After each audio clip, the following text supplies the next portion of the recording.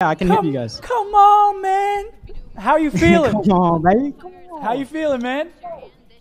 Can you hear me? You got to talk into the mic, Cuyler. They can hear me? You got to talk Oh into the shit. mic. What's up? What's up? Hello, hello. How Yo. you feeling, man? Yeah, how you feeling?